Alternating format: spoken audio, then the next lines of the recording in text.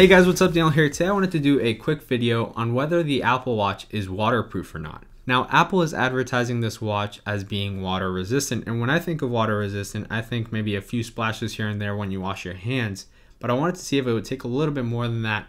And so the first thing that I did was wash the dishes with it, which I know a lot of people do, and I on purpose threw a lot of water on it just to see what would happen. And I washed the dishes for a few minutes, and then uh, I took it off and I wiped it with my shirt and it was good to go. If you don't wipe it, then the water might interfere with the display a little bit since it is capacitive, but it was all perfect afterwards. The second test that I did was putting it in a bowl of water, which was the same thing as the dishes. Nothing happened to it. I wiped it afterwards and it was perfect just the same way that it went in. You could basically just go and sell this on eBay and it'd be good to go. Now the last thing that I did was take it to the pool to see if swimming with it would cause any problems to the watch. So I went in the pool, I took off the watch, and then I just dropped it in there. The depth of this pool is three feet, so I couldn't check it out any more than that. It might be different in a pool that's 12 feet, or even if you go scuba diving, don't take it scuba diving for sure. That'll most likely ruin it. But if it's three feet, you're good to go because I took it out and I checked it when I was halfway through swimming and it was working perfectly when I wiped the screen. So I threw it back in there.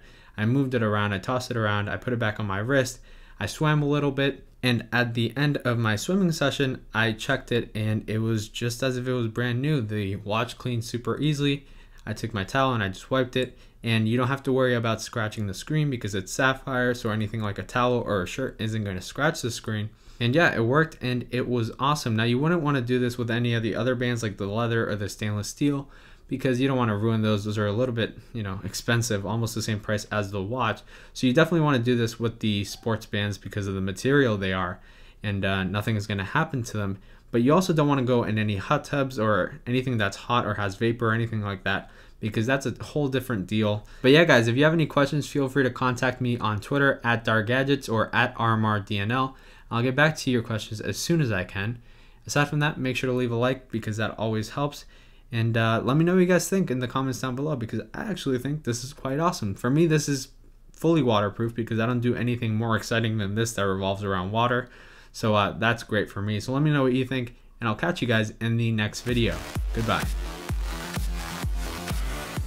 Hey, how's it going? I wanted to add a quick little ending here because I wanted to mention the fact that if you're not subscribed to this channel, you should totally subscribe because I have a bunch of more Apple Watch coverage coming soon. And uh, I cover all things Apple and a bunch of other tech things. So if you're interested in that, feel free to hit the subscribe button below if you haven't already.